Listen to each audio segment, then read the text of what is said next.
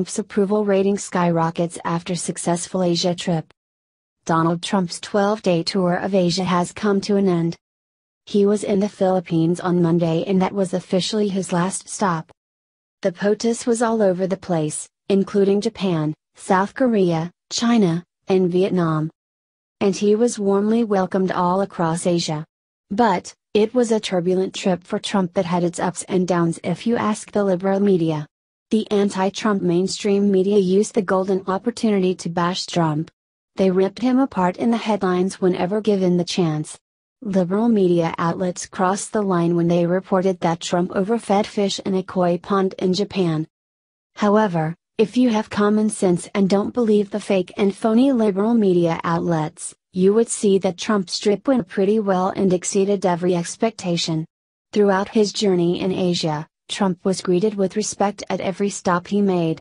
World leaders were happy to have him as their guest. And President Trump delivered some pretty blood chilling speeches that indicated how U.S. Indo Pacific relations will play out in the future. The American people were can't be fooled easily, and it seems they were not brainwashed by the mainstream anti Trump media.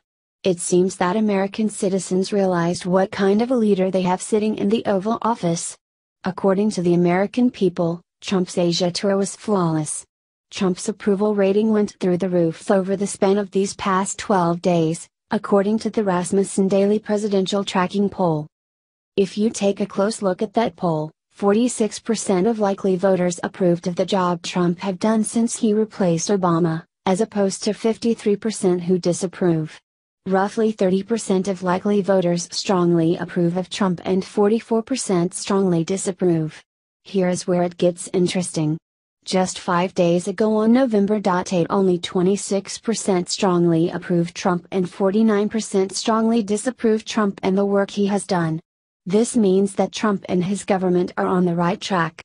Trump's America First agenda is slowly but surely paying off in the long run. Tell us what you think in the comment section down below. Below.